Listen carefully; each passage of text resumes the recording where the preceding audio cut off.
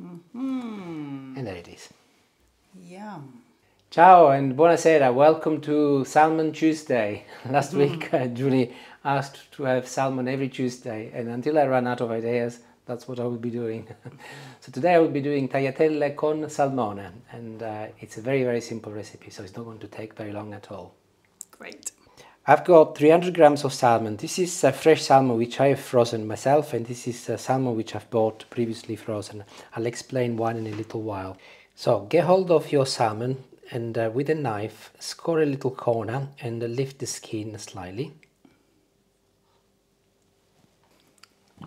Get hold of the skin with your finger and with a knife just gently start scoring through it.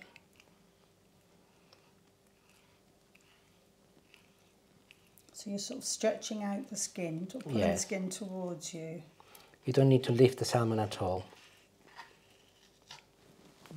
Let's see. There it is. Oh, not bad at all. Not bad at all. There is a little left which I will uh, remove as well. So here it is, all done and I've now moved onto the stove. And I will be putting a little olive oil in a frying pan. Turn the temperature on a medium high and uh, add your salmon. Couple of cloves of garlic, just a quick crush. You can dip the skin on and add them to the salmon. While the salmon is cooking, I'm getting my tomatoes ready. These are cherry tomatoes, a couple of hundred grams, and I'm gonna be chopping them in half. Also, I've got a leftover of a chili pepper, and this is very mild, so I'm gonna be cutting it into small pieces, and I will be adding it to my tomatoes.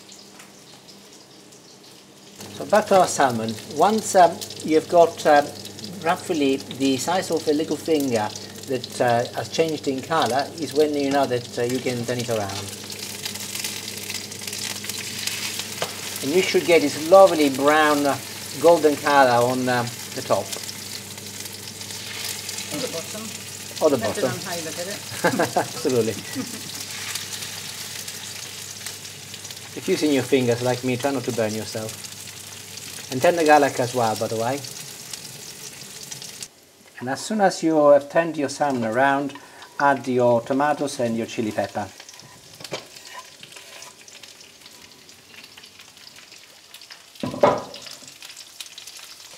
And we are ready to put the pasta on hot boiling water, little salt, and I will be cooking a couple of hundred grams of uh, tagliatelle.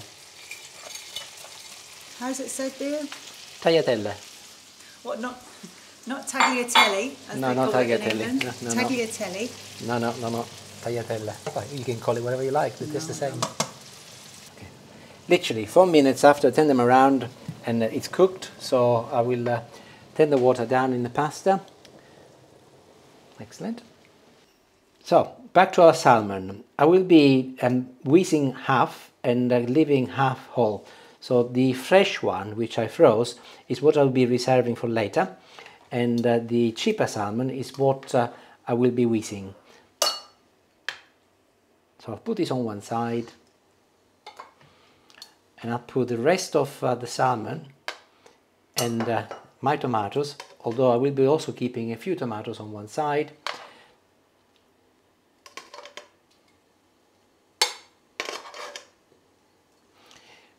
In a container.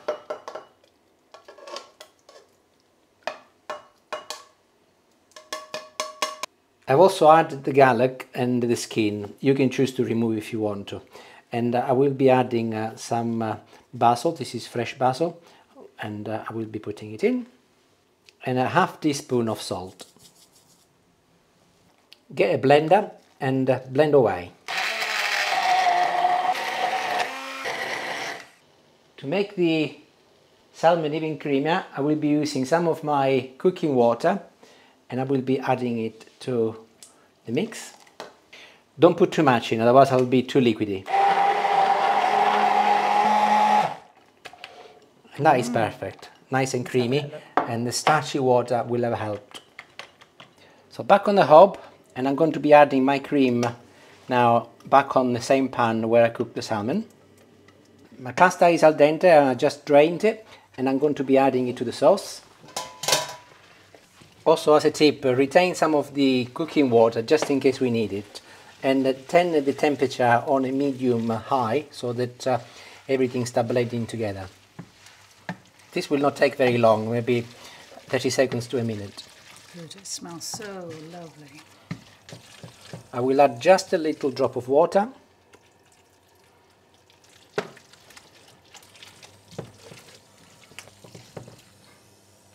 And now I'm going to be serving a portion.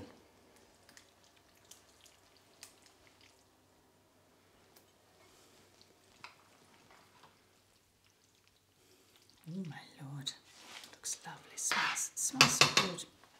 Ensure you scoop some of the sauce as well.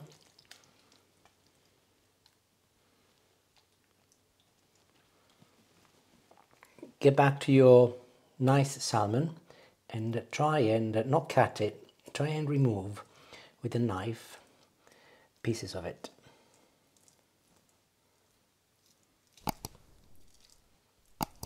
And sort of flake it almost. Flake it almost indeed, yes. Sprinkle that on top.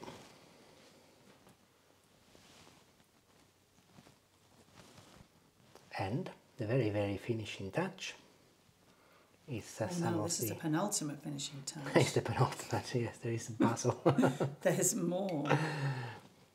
a few tomatoes.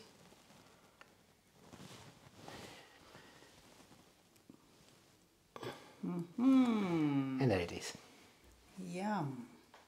Looks lovely. I like to add a little pepper on mine. I'm going to find a piece of salmon as well.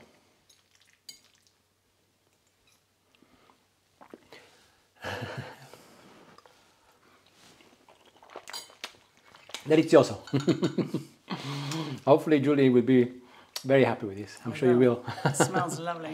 very simple guys, very very lovely and uh, very cheap, especially if you combine with some uh, frozen salmon for the bit you're gonna be whizzing and uh, some uh, fresh salmon for the bit that you're gonna be flaking off. Ciao ciao, enjoy and uh, see you later. Bye.